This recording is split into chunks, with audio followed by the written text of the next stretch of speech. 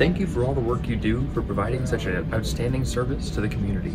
Knowledge is a powerful force, and the library is one of the few places left to provide an opportunity for people who become informed about the world in an infinite number of ways. Keep up your good work.